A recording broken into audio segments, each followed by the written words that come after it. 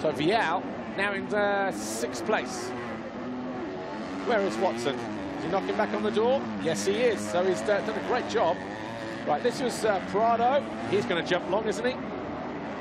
Yeah, had to. That was the line he tried to use on Watson earlier. This time it works. So Prado now up in the fourth. Warame fifth. Vialle sixth. Good recovery this from uh, Ben Watson. He's now in the seventh, all over the back of Vialle once again. So obviously looking good and feeling good is Watson. Oh, big crash there from uh, Tom Vialle. Straight out the front door. And that is a big, big crash for the young Frenchman.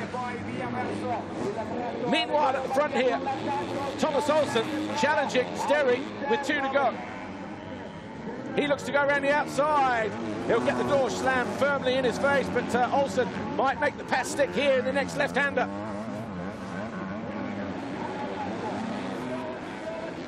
And he does go through.